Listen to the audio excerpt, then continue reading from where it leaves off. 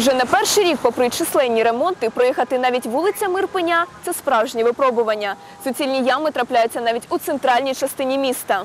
Водночас, щороку міська рада виділяє мільйонні кошти на ремонтні роботи. Виглядає капітально, але минає зима і все доводиться латати наново. Многі ті посилаються, що от після зими розтає сніг і з цього. Ну, я думаю, це не, не ця є основна причина. Основна причина, якби ложили нормальний, качественний асфальт, було б нормально. Цього б не відбувалося.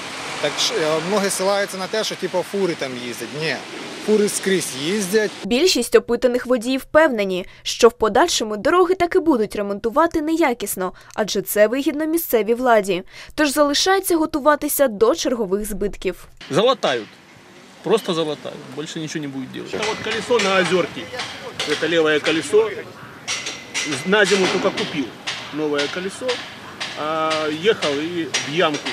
И оно умерло в той ямке. Он на той стороне монтаж 300 гривен латка. Втім, на бюджетній комісії, що зібрались днями, ухвалили чергове рішення про черговий ямковий ремонт. Поки запропоновано виділити на це 2 мільйони гривень.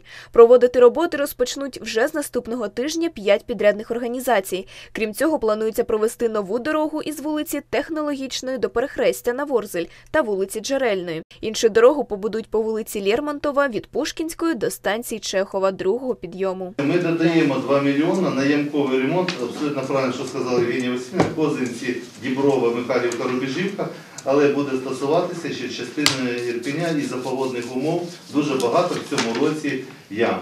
Тобто треба буде оперативно з наступного тижня 5 підрядних організацій будуть заходити на ямковий ремонт в наше місто. І плануємо за декілька тижнів повністю на 100% відновити це. І за цього ми закладаємо додаткове фінансування 2 мільйона. Витратять е, чи не витратять, будуть закривати по актам виконаних робіт. Лише нагадаємо, що влада минулого року виділила з бюджету понад 4 мільйона на ремонт доріг на вулицях Садова, Ярославська, Степанівська, Надсонова, Виговська, Котляревського та Київська. Яка якість цих робіт тепер можна переконатися на власні очі? Дар'я Сафронова, Дмитро Маркевич, інформаційна агенція Погляд.